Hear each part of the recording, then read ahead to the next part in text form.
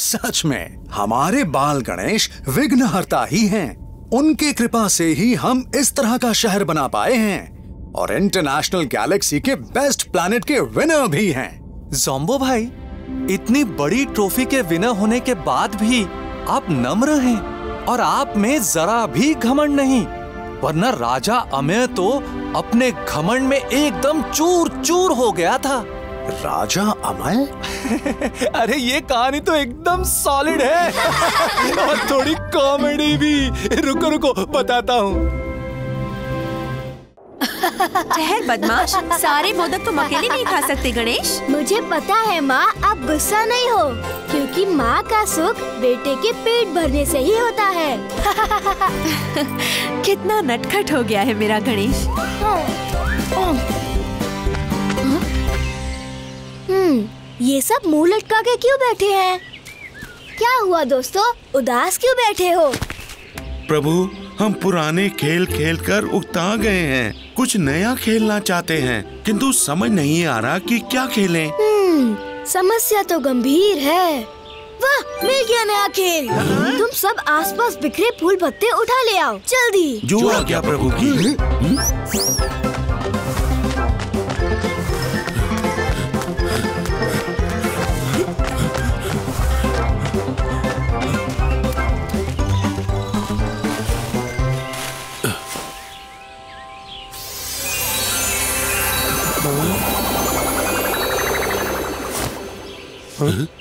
ये क्या है प्रभु? इसे गेंद कहते हैं। बाल श्री कृष्ण इसी तरह की गेंद से खेलते थे। अब हम खेलेंगे। मैं इसे उछालूँगा और तुम्हें इसे पकड़ना होगा। जो भी इसे पकड़ेगा वो इसे दोबारा उछाल देगा। समझ गए? समझ गए। तो ये गई गेंद हवा में।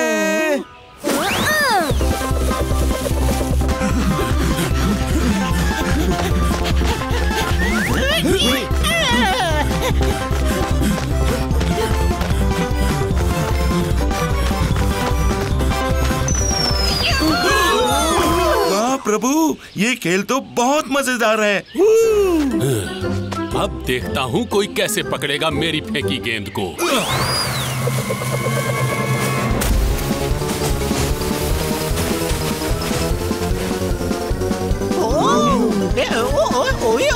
हाँ गम गेंद तो बहुत बड़ी हो गई है।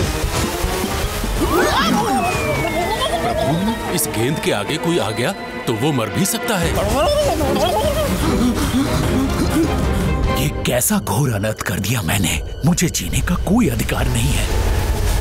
यही मेरी नियति है।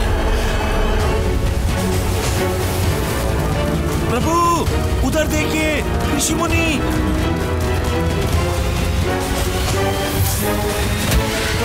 गणेश जी आप आपके दर्शन पाकर मैं धन्य हो गया। ऋषिवर आप जानते बूझते मृत्यु के सामने क्यों खड़े हुए? मैं पापी हूँ प्रभु।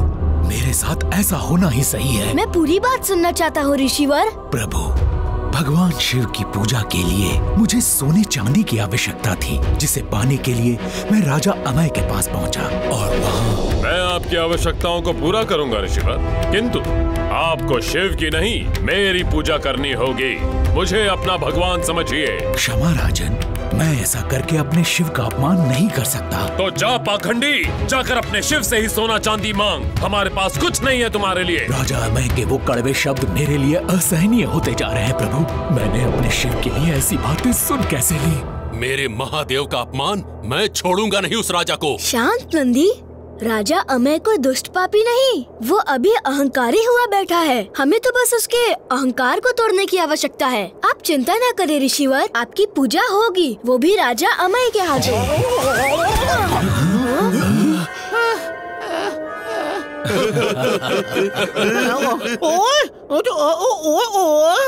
तुम जीत गए गम जैसे कृष्ण भगवान ने गेंद से खेलते हुए कालिया नाग को मारा था वैसे ही हम राजा अमर के अहंकार को भी मारेंगे।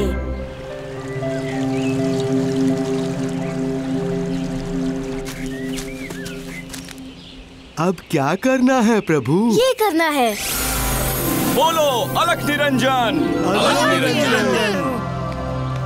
महामंत्री आज भिक्षा मांगने कोई भिक्षु नहीं आया? अलग निरंजन निरंजन आप महान है राजन। इधर आपने भिक्षा की बात की और उधर भिक्षुक आ गए। बोलो ऋषिवर क्या मांगते हो?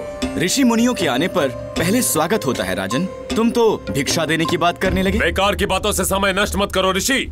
बोलो क्या मांगते हो? सुना है राजन तुम अपने आप को भगवान समझने लगे हो?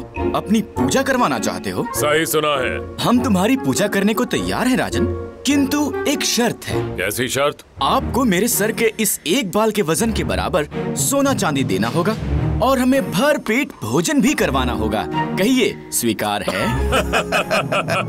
ओ ऋषि मांगना ही था तो कुछ ऐसा मांगते जिससे तुम्हारा जीवन बदलता। महामंत्री दोनों शर्तें पूरी की जाएँ।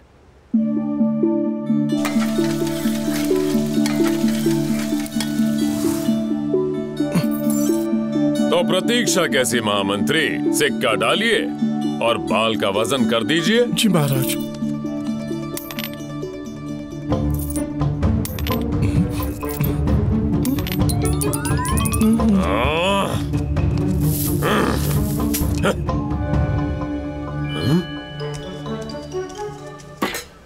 क्या तुम लोगों को मोदक बनाने आते हैं? जी महाराज। तो बना कर लाओ पुत्र। जो आज्ञा ऋषिवर। मुझे तो गुड़ के लड्डू खाने हैं। मुझे तिल के लड्डू और मोदक खाने हैं। मेरे और इनके लिए भुजिया और आलू की सब्ज़ी लाइए हलवे के साथ। और मेरे लिए वो सब लाइए जो सबने मंगवाया है। जो आज्ञा ऋषिवर।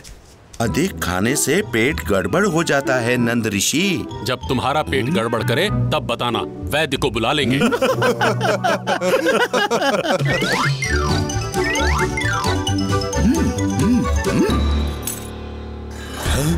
इससे भी बड़ा तराजू लाओ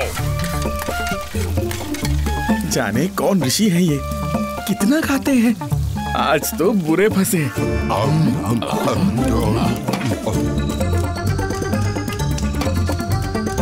राजकोष खत्म हो गया तो क्या हुआ राजन? अपनी राजगद्दी आभूषण और इस मुकुट से भी तो तोल सकते हो मेरे बाल को। महामंत्री राजगद्दी लाओ। जो आज्ञा प्रभु।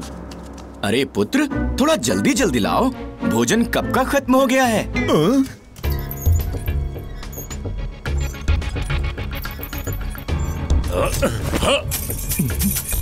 हाँ? प्रभु। ऋषि के बाल वाला पलड़ा तो ऊपर उठने का नाम ही नहीं ले रहा। उठ जाएगा मंत्री जी उठ जाएगा। राजन की पत्नी के गहने जो बचे हैं ले आओ। क्यों ऋषिवर? अब मैं क्या कहूँ नंद ऋषि? ये जाने और इनका काम जाने। आ मंत्री। हमें यहाँ क्यों बुलाया है महाराज? रानी हमें आपके आभूषण चाहिए। किंतु किंतु परंतु का समय नहीं है रानी। आप आभूषण दीजिए।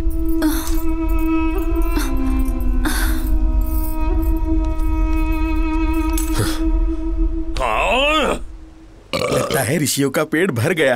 तभी तो डकार ले रहे हैं। और लाओ पुत्र हमें भूख लगी है। हे भगवान अब कहाँ से लाऊं इनके लिए भोजन?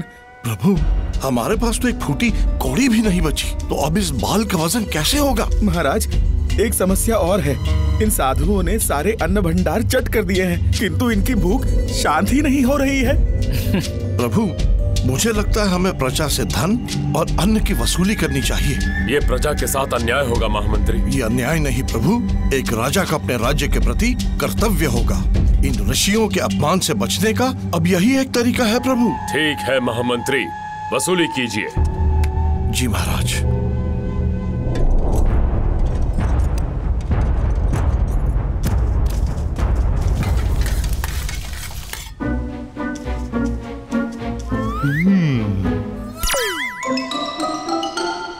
प्रजा का धन भी चढ़ गया किंतु बाल का वज़न नहीं हुआ।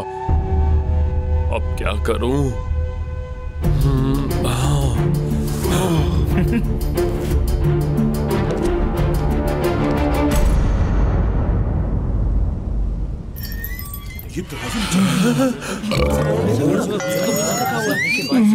नहीं ये नहीं हो सकता। राजन साधुओं के भेष में अवश्य कोई दिव्य शक्ति है जो आपकी परीक्षा ले रही है।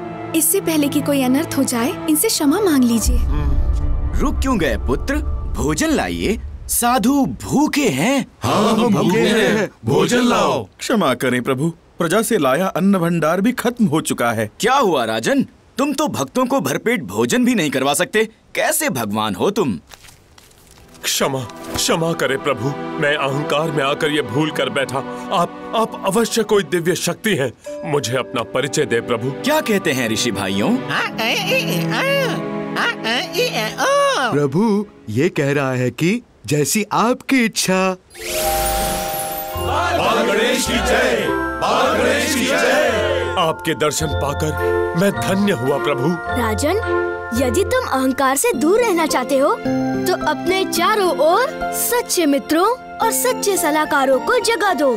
चापलूसों को नहीं। मैं अपनी भूल सुधारूँगा प्रभु और अपनी प्रजा से माफ़ी मांगते हुए उनका धन लौटा दूँगा और जिन ऋषिवर को पूजा के लिए मना किया था उनकी पूजा भी करवाऊँगा। किंतु भगवान जीने के लिए भोजन की आवश्यकता होती है। वो सब तो आपने खत्म कर दिया।